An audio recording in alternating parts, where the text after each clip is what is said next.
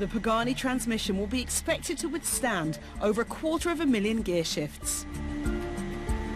So nothing leaves the factory until it's been tested in this 1.5 million pound rig. It's an amazing bit of kit. In terms of our quality control, trying to make not only the highest performance but uh, the quietest gearboxes we can, this test rig really allows us to measure basically how we're doing on that.